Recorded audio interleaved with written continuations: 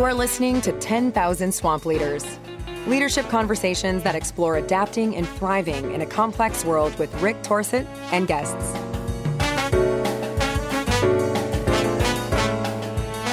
Hi, everybody. This is Rick Torseth, and this is 10,000 Swamp Leaders, the podcast where we have guests on who have made a decision to raise a hand and use themselves to lead against really hard and difficult challenges in the world. Today, I have the pleasure of talking with a colleague, Larisa. I'm going to say a colleague because we're involved in this program for the last couple years together. Larisa Halilovic, who is coming to us today from Bosnia and Herzegovina. Larisa, welcome to the swamp, as I call it. Hi, Rick. Lovely to see you. So, uh, let me give people a little bit of your background, and then I'm going to give you a chance to get in and say what you want to say about what you're up to. So, you and I met in a program that we're doing through the Hague Academy. And in that particular program, you've had a position in the last two years to directly speak to core values with the people who are in the program. And it's, we should say it's a leadership program. And I think that's relevant because you bring a lot of experience to this conversation. I got it that you have been affiliated with the British Council for over 20 years. And I'm trying to understand how a woman in Bosnia has been working with the British Council for 20 years. But here's what they say they're up to. We support peace and prosperity by building connections, understanding, and trust between people in the UK and countries worldwide. That's probably the link. But you have a lot of experience working with teams and being a team leader. I will say to everybody, we'll put links in this podcast note sheet, but you have two cool TEDx presentations, one on core values and one on emotional intelligence. And I know if people Google search you, they're going to find you in a lot of other places. So you're up to a lot of stuff that I think is relevant to the people who listen to this. So welcome to the show. And let's start with what is it that you want people to know about you that you think helps them get a starting point to what you're up to? Thank you so much, Rick. Well, the first thing I'd like everyone listening to know is that you can be a leader wherever you are, whatever background, whatever color, shape, format, whatever starting point you have. You can be a leader yourself if this is something that you feel within you and also something that you really want. So that's definitely the biggest message for everyone listening. Okay, so let's start right there because you and I are of the same point of view on this. I say to people all the time, clients who work with it, leadership is not a role, not a position, it's a choice, it's an activity, can come from anywhere in the system. In the country I come from, most all our social change has begun with people who had no authority and they raised their hand and chose to do something. And I think that's what you're speaking to. So let's just go right into it and share with people your own perspective about what does that take I was just on a call yesterday, and there was a woman in this group, and she had a lot of self doubt about whether or not she even had what it took to even consider that, much less actually take the action. So let's start sort of in that perspective. So, in your experience, what have you noticed about people that cause them to jump from "I'm not going to do this" to "I'm in now"? And what what are they made up, or what choices are they making to get into that position? Well, again, speaking from a personal experience, one of the biggest drivers for me has been the motivation to change something because I think all of us who feel uncomfortable with the status quo and who want to change something clearly have the potential for leadership. If you add to that the willingness not only to motivate yourself, but also to bring others along, that really makes a whole lot of difference. And the third thing that has really made a difference for me is having understanding for different kinds of people who are with you along the way. Because for those listening who don't know much about me, I lived in Bosnia and Herzegovina for a while. I was there during the war. Then I left uh, and went to New Zealand as a refugee. And then I came back in a different role once things were settled here.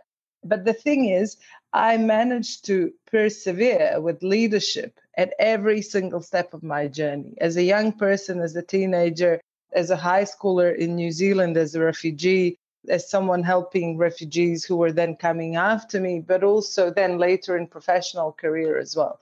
So I would definitely say you need to have the motivation for yourself and for others. You need to be inspired to change things for the better. And also, you need to really develop the skills of handling people. Of course, handling yourself as well, but that's almost taken for granted, although not for everyone. But knowing how to bring others along and do it gently and in a way that's appropriate for the different kinds of people that we're leading. Okay, so you, you make two comments here, or two areas of work, let's call it that, that I want to explore with you.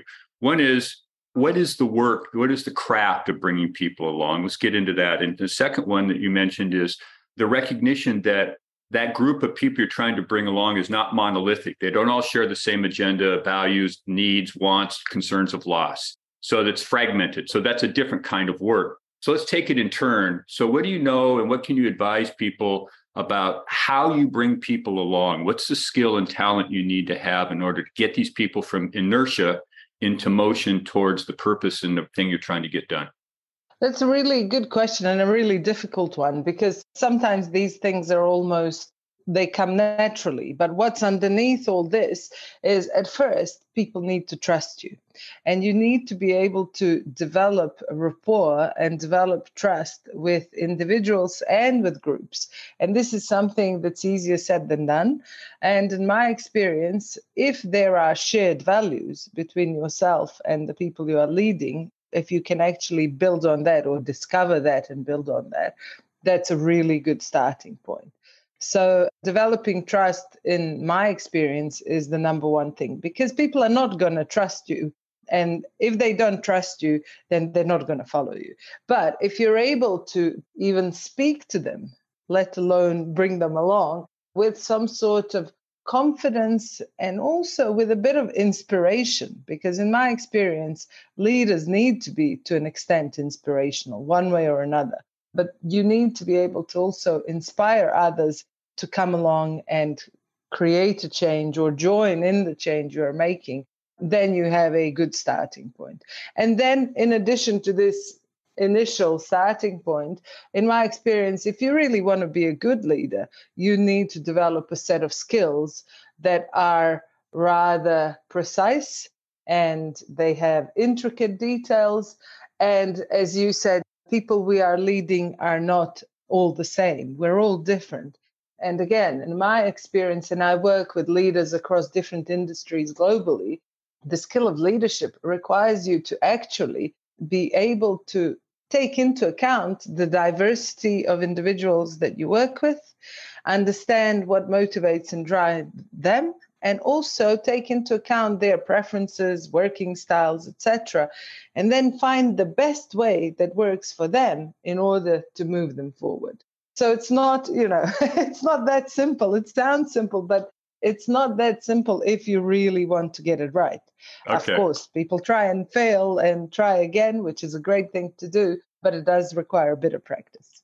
Practice. So, therefore, we can make a case right out of the gate that part of what's needed to build this capacity is to design a practice as if you're a, an athlete or a dancer or a musician where you show up and practice your craft and then you play the game and you practice your craft and you play the game. Although i always find my own metaphor there falling apart because for leaders there's rarely a practice field where they can go and make mistakes where it doesn't matter.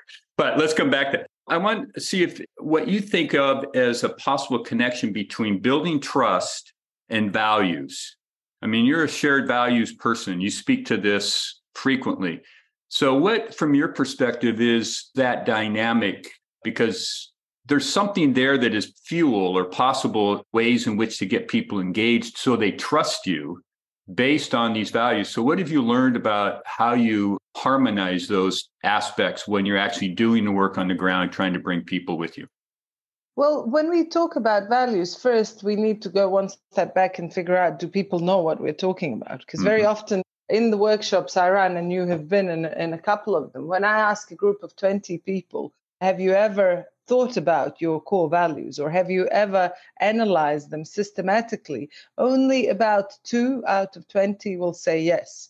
So that's when we need to go that one step back and say, well, what is really, really important to you? What's something that's not negotiable? What is something that drives you, but from within? And what are the characteristics of individuals you admire that make that person a good person, for example? And these are all questions that help us understand what our common values are. But at the same time, you know, when you're working with a group of people, it's not that easy to just roll up and say, hey, what's really important to you?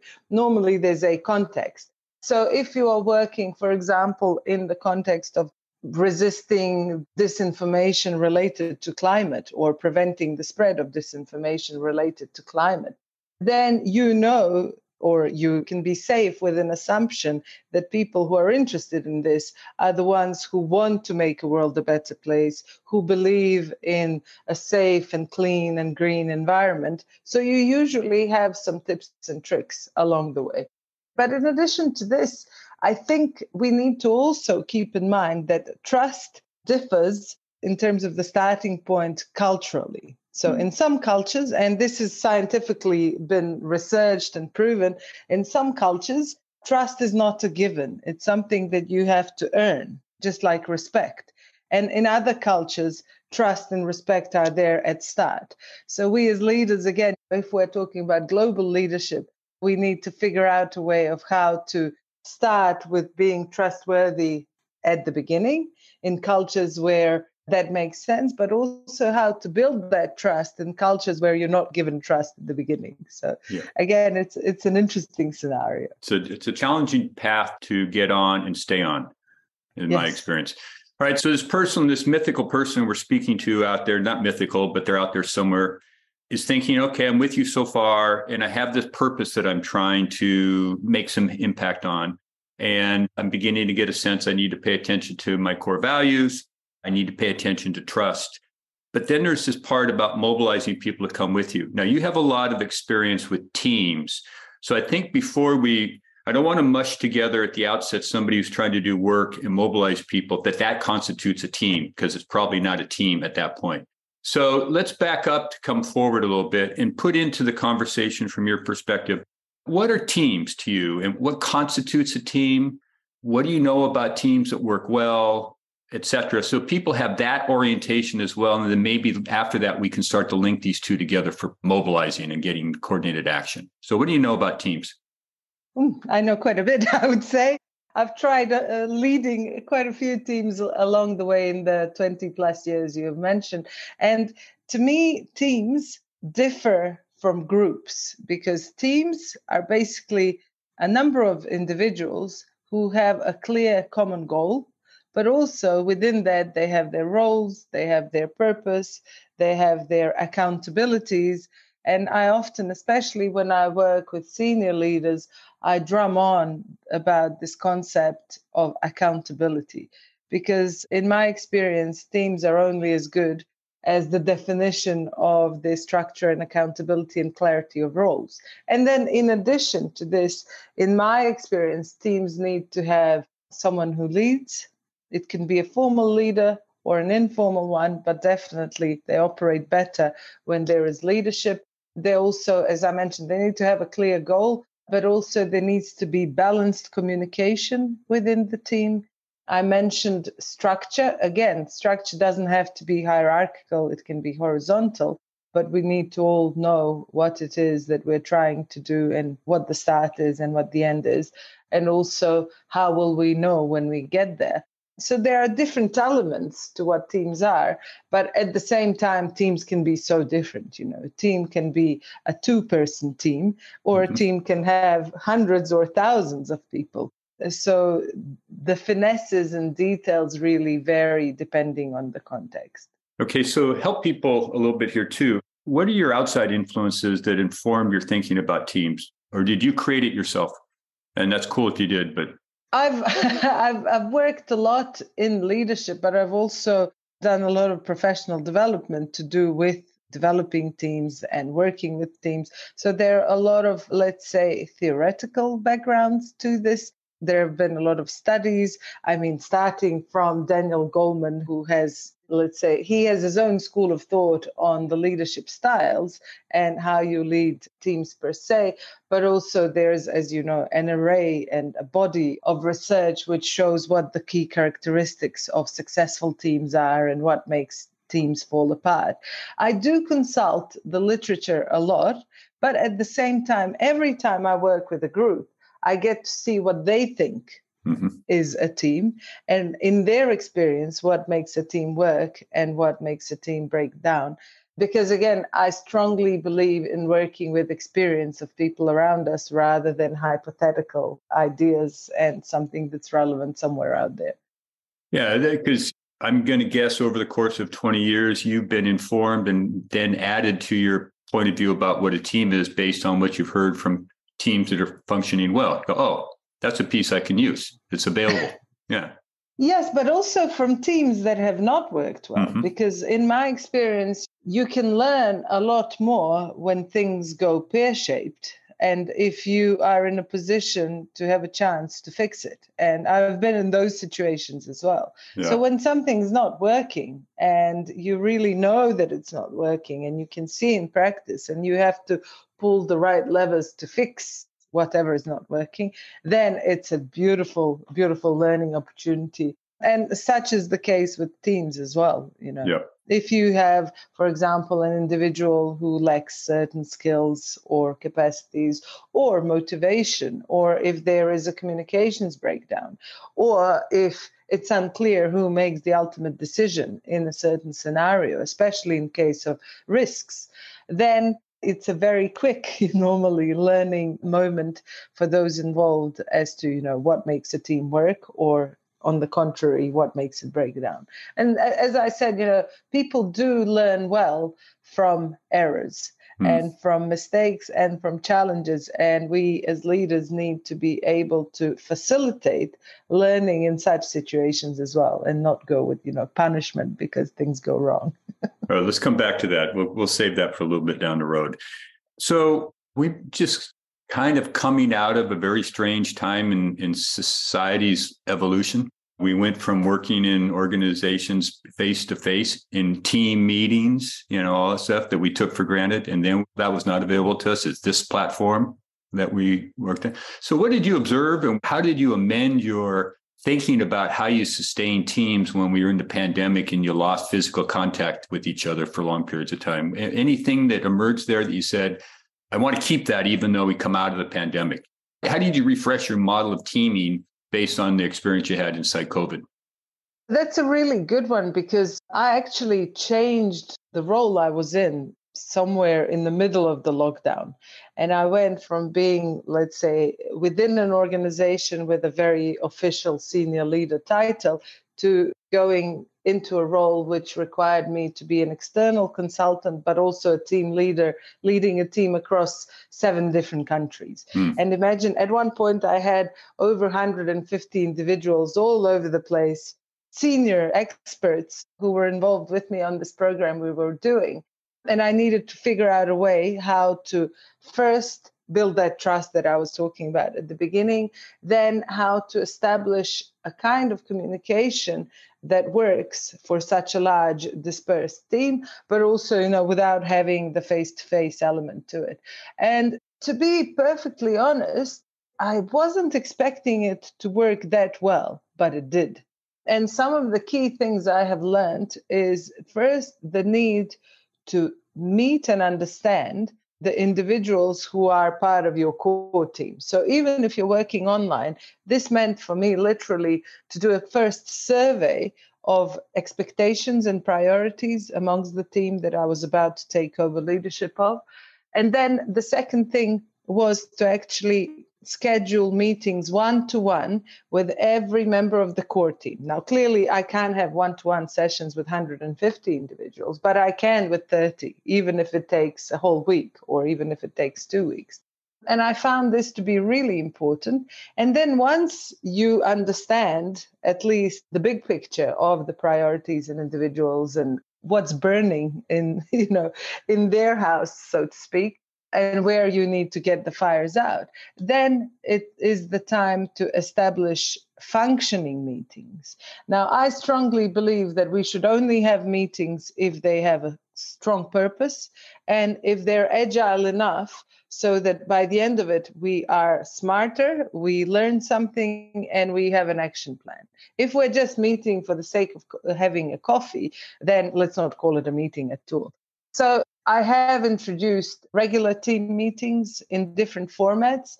I like to keep them short They're usually, you know, depending on the number of people, but half an hour is my favorite. If we can do it in half an hour, that really works well for me. And then because I work internationally and I work across the whole region of the Western Balkans, it is, in my experience, important that you're able to keep both the global and the regional view, but also the local view, mm-hmm. because the people you work with especially if you're leading them, they need to know that you care about their context. So, you know, when it comes to COVID, that you care about their home scenario rather than the world in general. Because, as you know, COVID experience was not the same for someone caring for elderly and someone who is maybe on their own at home. And every person had their own challenges. But what I've taken away from that is overall that we can function with technology. However, the depth of the relationship, in my experience, is not as deep until you see each other the first time. In person, yeah. Yeah. And then the second thing I've learned, I used to travel all the time. And sometimes I wouldn't even know where I was going and where I was coming back from. It would be you fly to a place, you go to the hotel, you go to the conference room or the workshop room or whatever, you do your thing, then you have the work dinner, and then you're off flying again. And I seriously wouldn't even know what city sometimes I was in. And I've realized that in some cases, this is really not necessary. And that sometimes it does not make sense to fly across the world for a few hours when in reality, with technology, we can do so much. Of course, there are benefits of face to face, but now we have a bigger opportunity to weigh those out and figure out when it makes sense and when it's maybe not necessary for us to do all that flying around. Yeah. All right. So let's go in a slightly different angle to all this stuff. So, is there for you, and if so, how and what, a difference between building a team and doing community work for the sake of some cause that benefits the community, but you start with a place where there is not necessarily agreement on shared purpose and common orientation and structures and processes that an organization inherently brings to a group of people. So, what's different about community building and leading that effort as opposed to inside an organization from your perspective? Well, there are differences in terms of the structures and maybe expectations to start with. But I would say that my approach is similar in a sense that inspiring and building trust has to be the number one thing. Because I remember when we had floods, I think it was 2014, really big floods in this part of the world. And I was with a small baby at the time, and I couldn't really get out to the field to help physically. But I managed to get into action and motivate people using social media and connect people around the country to do amazing things. There was a rescue mission for a young boy who was with disabilities and who was left without a wheelchair during the floods. And we somehow, by motivating individuals online and by connecting people around the country and by fundraising and getting onto the mission and wanting to change something, we not only managed to collect money and secure a wheelchair for this specific young man, we managed to get five more for other individuals who turned out to have been in a similar hmm. position. Mm. But in order to create that sort of momentum, I think, again, going back to what we were talking about before, people need to believe that you're being true when you're speaking that you're not faking fluking etc i know we sometimes believe politicians and others who are trained. I'm talking about pure really pure leadership where you are being authentic and true to yourself. Because at one point i had all this money coming my way. People were giving me money for a cause without even ever meeting me ever face to face. But clearly i was able to build that trust and keep that trust by delivering on what it was that I was motivating them to do. And then the second thing is they need to see the benefit, the bigger benefit, the wider benefit for the community on the cause that you are getting involved in.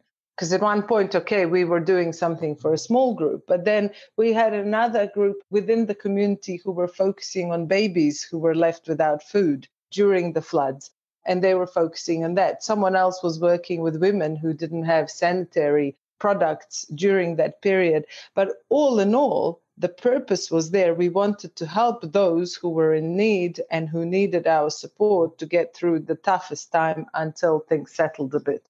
And I think if you have that in you, if you're able to look at people and if you're able to speak in a way that they trust you and believe you and they want to come along and help whatever way they can. It doesn't have to be money you know. We had individuals who would literally pack up and go to parts of the countries to clean rubbish because rubbish was piling up uh, being thrown out of rivers and causing even bigger problems. So okay you don't have money but you have if you're physically able, you have your 10 fingers and your two arms, you're able to do some digging. It's a contribution you can make. And again, you know, not everyone is ready to stand out there and say, hey, people, let's do this. We can do this. This is needed. These other people need us. So I think if you have it in you, then practice. And you can practice at school, you can practice with little kids, you can practice at university, you can practice in your local community. It can be about cleaning up in front of your household, or it can be about something bigger, as long as there is a clear cause and a common goal that brings people together. Okay, so this takes me to another piece that I think you're probably very skilled at, but I want to entered into the conversation because I also think it's a, a, piece of craft that people don't think too much about, which is how you use your voice, how you use narrative to bring people along, to actually be able to verbally convey the purpose and the opportunity and how people can be helpful is its own challenge and its own task and its own skill. So I've watched you work. I know you know how to use narrative and the distinction between narrative and story. You know, they're not the same. So, what counsel can you give people out there about using your voice to get people into action? And what are some tips or some things you've learned about how to do that well? The number one thing I preach, I preach on quite a bit is keeping it simple and summarizing. Because very often, and especially if you're working with people in academia or with people who are highly expert at something, they get lost in terminology. Mm-hmm. And if you really want to lead people, they want to understand and they want to feel what you're saying. So I could have been giving you examples with scientific references and all those things that we were talking about earlier. But people normally relate to the emotion that you are able to produce in them and to things that are familiar to them. So if you're talking about babies not having food out there because there has been floods, everyone understands what babies are. You know, you can like them or not like them, but the understanding is there. If I was talking about infants who were having challenges with their nutrition during an early stage, I'm sure half of the people wouldn't be listening. Mm-hmm. So, mm-hmm. keeping the message simple, to the core. And very often we react to a problem. Now, I'm someone who naturally goes towards solving problems. But I think if you want to bring people along, it's quite a skill to help identify what the problem is. You know, mm-hmm. so if yeah. the problem is the flooding, then we need to talk about water is everywhere. If the problem is lack of skilled butchers, we need to name it that way. But whatever the problem is, I think it needs to be communicated in such a way that A, people understand, B, they feel something about it, and C, they want to do something about it. Hmm. And this really requires simple language, clear, short and clear messages, and not scientific language. I, I do think you need science to back you up as evidence but not when you're trying to motivate masses and when you're trying to lead, especially in community settings. Yeah. Okay. All right. So I have one more question in the professional context mm-hmm. because I, in preparation for our conversation, I watched your YouTube videos, and which I recommend people do. I read some stuff. I've seen you work in the program that we've, and in almost every situation, you made a reference to Susan David and her work on emotional agility. So I take it that that's a an influential piece of thought work that informs some of you. So I'm just curious personally, what is it about Susan's work that affects you and has influenced you and how does it show up in your work and what difference does it make? It's really interesting that you bring Susan up because I think the only reason why she stands out for me, and for those who don't know who we're talking about, Dr. Susan David is a psychologist. I believe she's based in South Africa. She operates globally. She has a TED talk. She's written books. She is very active online. There's a lot of free resources. She also works with values. And I think the main reason why I'm influenced by her work is that it really resonates with my experiences to date. Hmm. Because, for example, she talks about how important values are and working with values.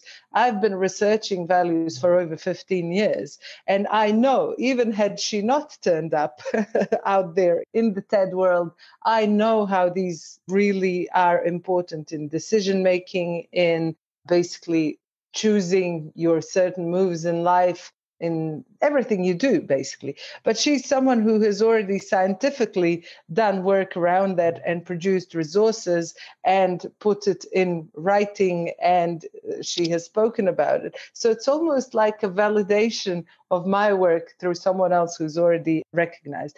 And another thing that i really appreciate about uh, susan's work is her reference to the space between emotion and thought and the behavior we choose. So that space in between when you feel something and you think something, and then you go to act, taking that time to actually choose your behavior. Now, this is something that goes way back. And if you looked in, in uh, science and research, I'm sure you would find evidence even in the Greek times for ideas on how all of these uh, concepts operate. And in behavioral psychology, there are different, again, theories and schools of thought. But she managed to explain it in such a simple way that fully resonated with all the research on and practice on emotional intelligence that I had done. That basically, you know, it's not enough to just understand your emotions. It's really, really important to be able to, okay, understand and accept emotions which can be comfortable and uncomfortable. But then we have the power of choosing the reaction and action we take. And that's for me, it's such a simple idea, but at the same time, it's very challenging and very complex. And in her talk and in her book, Susan describes it beautifully. And for those individuals listening and watching who like being given smaller bits of information one at a time, she does a lot of work online, a lot of free stuff. So through Instagram and other platforms where you can actually get bits and pieces of this work. It's easy to understand and it resonates really well. Okay, there you go. So I'm going to shift gears now. I want to talk about Larisa personally so, my first question is what drew you to this work? well, it's interesting because I've had a dual career for over 20 years. I've always known that I want to work with people. So it had to be something about people. And that was very clear because from a very early age, I had this, let's say, potential of motivating and leading people, but also helping them learn and develop. So, very early on, I identified that there was the potential for me to go in the direction of teaching and training, etc., but also in parallel to that, leading and managing teams.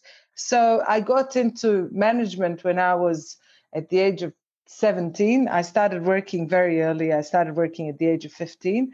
And then from that moment, I was always doing two things. One was learning how to teach and train others, and the other was actually leading and managing teams in practice. And over the years, basically, the more I worked, the more I realized that these are all skills that you can develop. And if you help people develop those skills over time, then basically my purpose is achieved. So I've, I've done a lot of reflection. I have done a lot of professional development myself. So over the years, I specialized. I worked as a teacher. I have worked as a, as a lecturer. I have worked as a trainer, mentor. So I kept that developmental part of me throughout the years. But at the same time, I think you're only good as the ranges of experiences you have. So I thought I can't be teaching leadership if I'm not pursuing that path as well. So I took the hard the hard way and I actually worked as a leader, as a senior leader and then later as a consultant to leadership teams in parallel, making sure that I have the on the ground understanding from the industry and from the different industries around the world. But basically, very early on, I identified that my purpose is helping others achieve their purpose and develop their skills. And clearly, the values which I identified as my core values helped me understand which direction this needs to be in. Because, for example, for me, doing good for the world is much more important than making big money. Making big money is good if it fits with my other criteria. But it's definitely, you know, for some people, that's one of the number one drivers. For me, that wasn't the case. So I've come to a point in my career where I really do only what I really enjoy. And I do work only with clients that I have compatible values with and that I really want to make a difference with. And it's a lovely position to be in, but it's required a lot of work, as I say, over the years. Okay, so it just dawned on me as you're speaking this. The question I didn't put on the sheet that we've got to talk about: what are your core values? Well, some of the ones that are really strong and that are not easy to live with uh, involve truth. So, truth, uh, or some people might call it honesty or related values to those, but they go into that category. Another one is respect.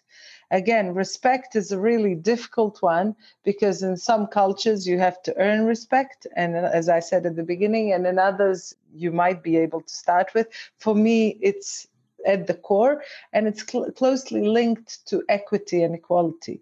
Now, you can imagine for me being a woman and imagine 15 years ago having to go into meetings with senior officials, with ministers in the setting where I live. It used to be very challenging because I would come there expecting respect and demonstrating respect, but it was not always on the other side. So it's a challenging value to have. Professionalism is another one. Then doing things for good. So this whole making world a better place. I haven't found a single single word. Maybe benevolence could be a word that's close to it, but I like to call it for good value. What else? I've mentioned respect, I've mentioned professionalism, honesty oh and responsibility.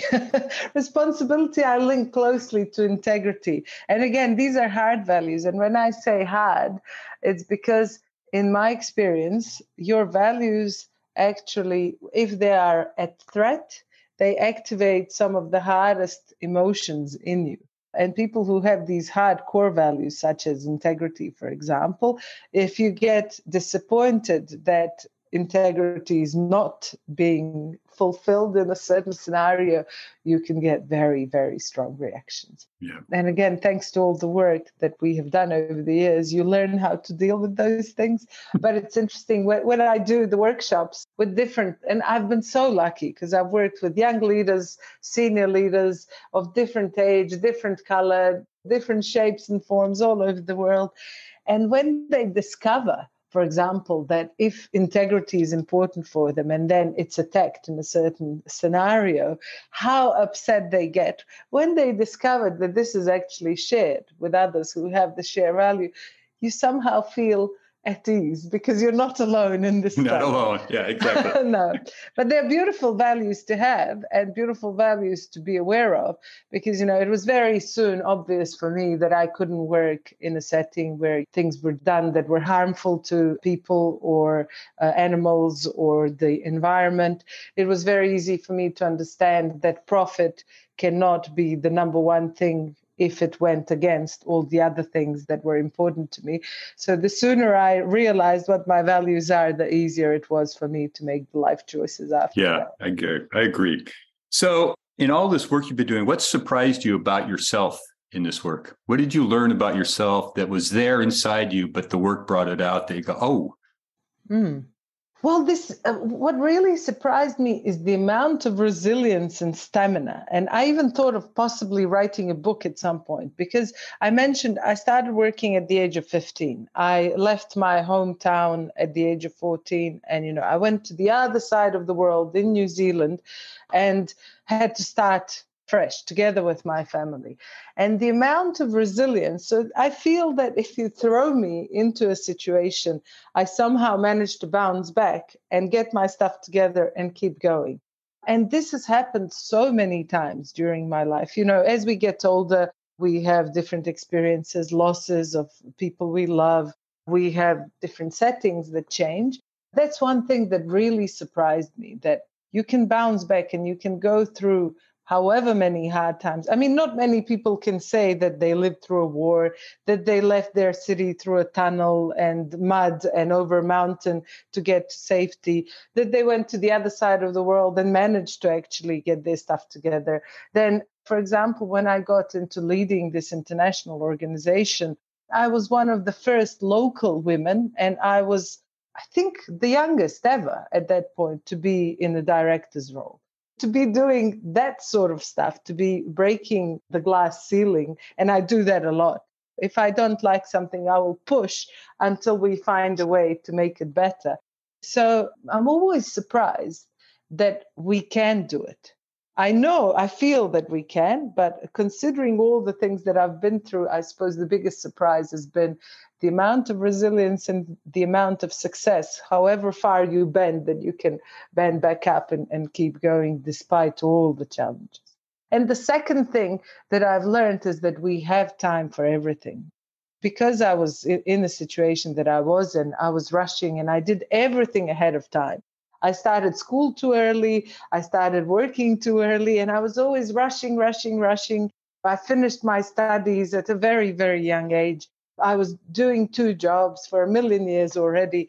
And I've realized now, you know, I've done things that some people will not do in their three lives. You know, it's okay to slow down. We need to slow down. And there is time for us to do whatever we want. Okay. So you raised this question or you raised this concept about 20 minutes ago. And it's a question to ask everybody here because I agree with what you said. But I'm going to turn the question on you to ask you to answer yourself which is that I think as leaders, we learn more from our failures than our successes. So, what are a couple failures as a leader that you can share with people? And what did you learn from them that's informed how you lead? There have been lots of different failures along the way. One of the ones I often talk about because we live in a world where entrepreneurship is such a big thing. World is changing. Entrepreneurship is becoming a big priority for many of the younger individuals. I mean, the age doesn't have to do with it much, but I think that my experience in the world of entrepreneurship is a really useful one. I once went into a business partnership where we had a let's call it a startup which part of it was dealing with IT services and another part was dealing with training and development. I absolutely loved the whole arrangement. I was dealing with the training and development and my partner was dealing with the IT services.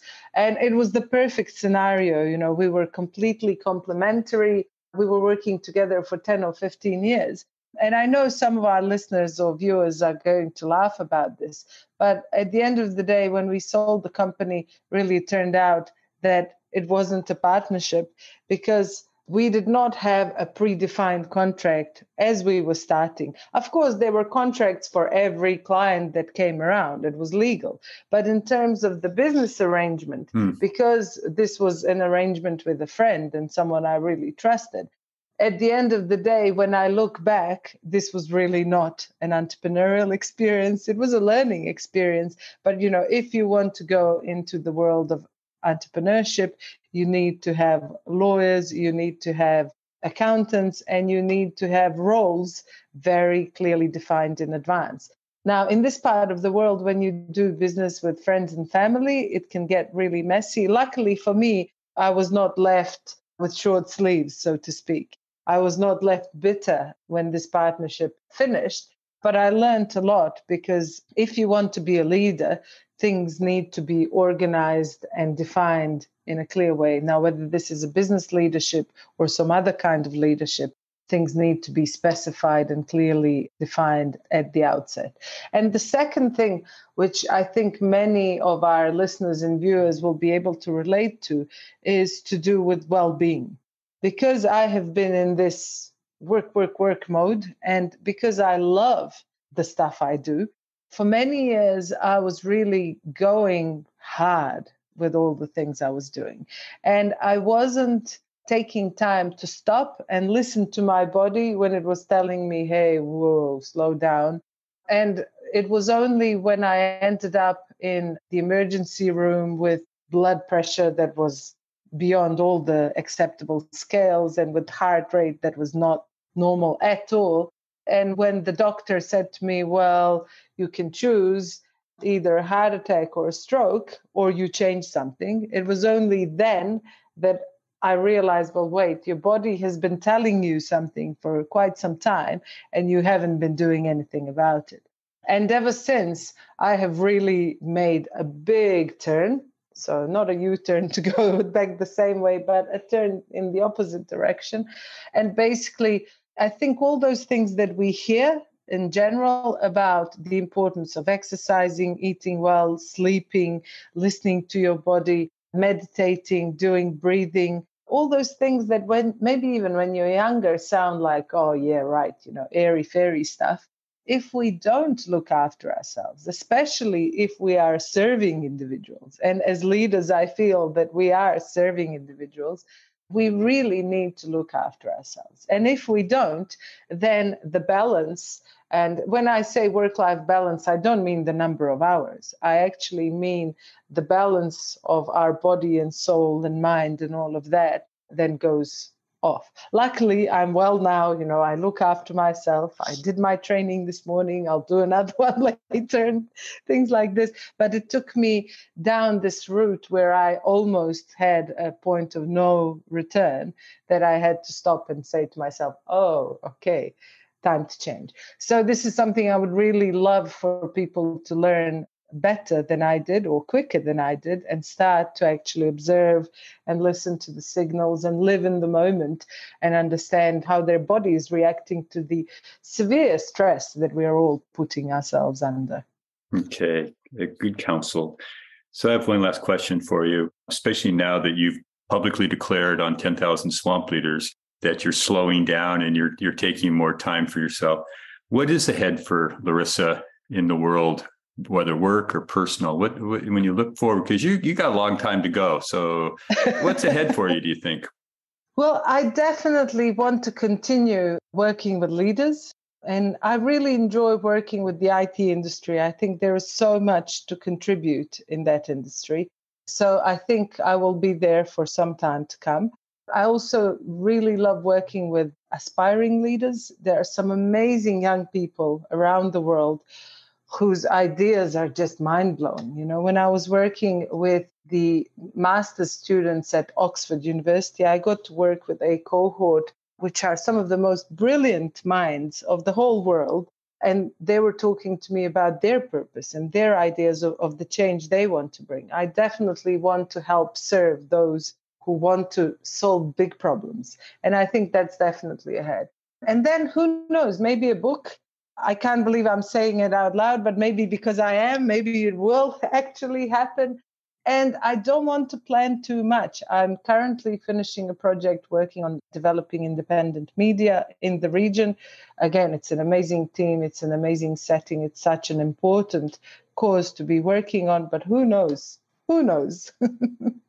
Larisa, thank you so much for making time to come into the swamp and tell your story. There are so many pieces of conversation you just had in the last stretch of time that people can profit from. So thank you for sharing your wisdom with this clan as well. Thank you, Rick. It's been a huge pleasure and an honor to be able to share my insights. And hopefully, some of the viewers or listeners will get in touch and let us know how we got on. we will put some stuff in the show notes where they can find you and the resources. And yeah, I think you're going to have some people who chase you down. Thank you. Excellent. Thank you for listening to 10,000 Swamp Leaders with Rick Torseth. Please take this moment and hit subscribe to follow more Leadership Swamp conversations.